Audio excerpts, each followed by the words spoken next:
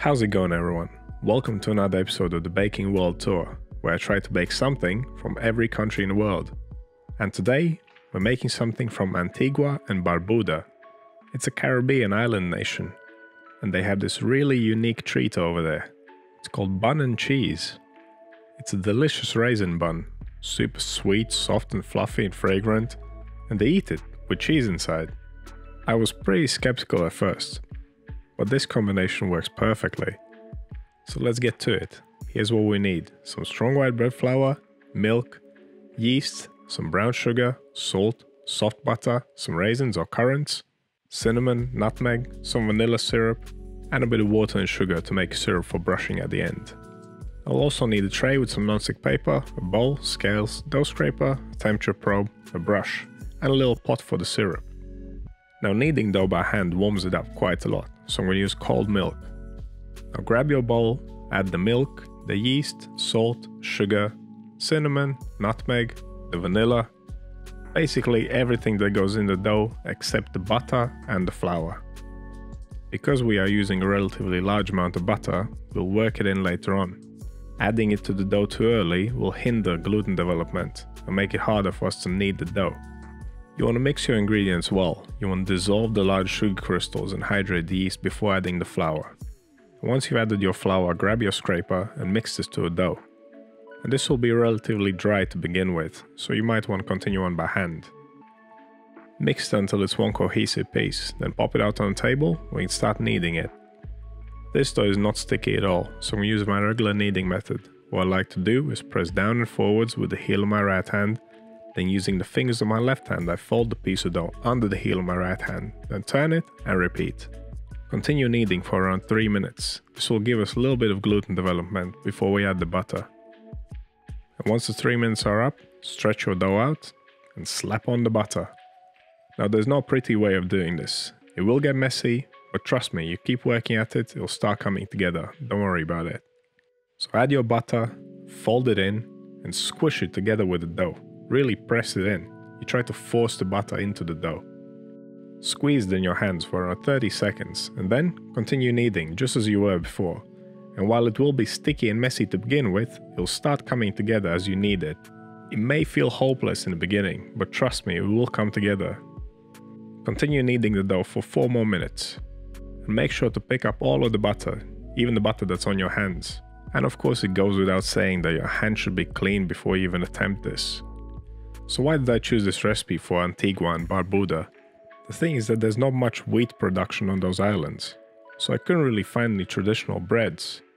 The cinnamon bun is basically something that came from colonization, and the locals have their own unique take on it by having it with cheese. But of course you don't have to eat it with cheese, the bun itself is absolutely delicious. So once you're done kneading your dough, pop it in a bowl and take its temperature. Around 26 degrees Celsius just about right for this. We're gonna cover it up and let it rest for 15 minutes. We need to relax the gluten before we add the raisins. I find this method easier and more practical than kneading the raisins into the dough. You simply stretch the dough out, spread the raisins evenly, and fold them in. And no, these raisins have not been soaked. And if you're not using your grandma's raisins from the back of the cupboard from 5 years ago, then you should probably not have to soak them either. So press the raisins in, spread them out nice and evenly. As you can see I left a few behind, I'm going to use them in a minute. Fold the top third of the dough down, and then finish off the rest of the raisins. I keep saying raisins, I actually use currants. But either of them will work just fine. Now fold the bottom over the top part, and fold the sides in. All we're trying to do is making more layers in the dough. And that's it. We can pop it back into the bowl and continue fermenting. If your dough came out warmer, it will take less time to ferment. If it was cooler, it will take longer. My first proof, I left it for one hour. And after the first proof, we want to give it a fold. Folding will help with degassing the dough, basically punching down. And we will also get to layer up the raisins more. It will also help us equalize the temperature of the dough. Let's say your kitchen was really warm and your dough was cool it would have warmed up on the outside, but stayed cool in the middle. So with the folds, we are distributing the temperature evenly throughout the dough, and that'll give us an even fermentation. And folding is pretty simple. Flatten your dough out, make sure it's smooth side down, fold the sides over each other, and fold the top down, turn it around, fold the bottom down as well. Get that nice little package back into the bowl, keep fermenting for one more hour.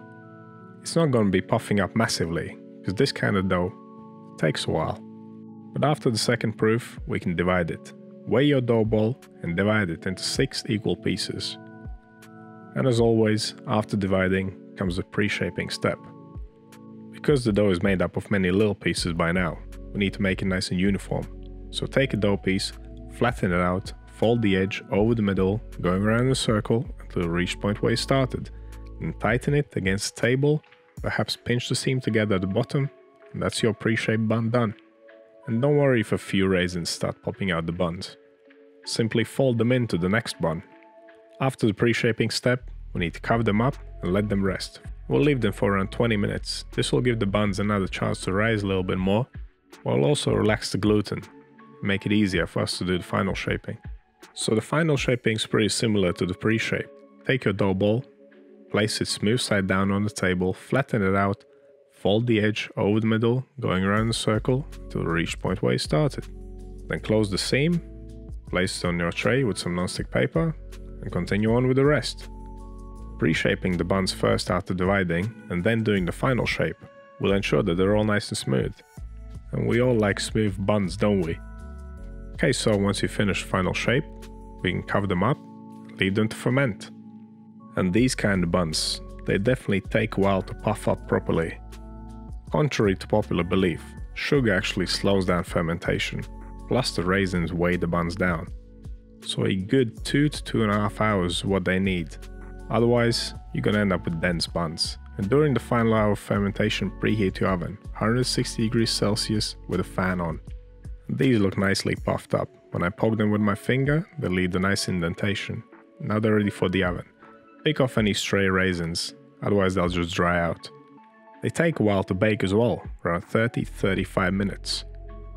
You want to make the sugar syrup just before they're ready. Simply combine the sugar and the water in a pot and bring it up to the boil.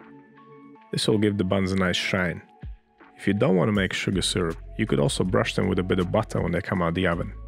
But do brush them with something, because that really makes the color shine. Simple things like these completely transform the look of the bun. Yeah, and don't hold back, really go for it, use up all of the syrup. And that's how you make beautiful cinnamon buns, or cinnamon and raisin buns I should say. And they are perfectly fine as they are. You could also cut them open and eat them with some jam. But of course, we gotta take them one step further. This is not gonna be an Antiguan bun without some cheese.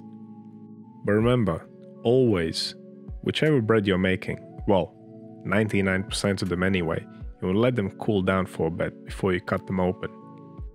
If you cut your bread too early, it'll still be gummy inside and not very pleasant. Of course, if you're making a pizza, then you don't have to wait for anything, just tuck in. I'll let them chill down for around 20 minutes. Let's see what we got here. But you can already see the texture as I'm cutting it. They're so soft and fluffy.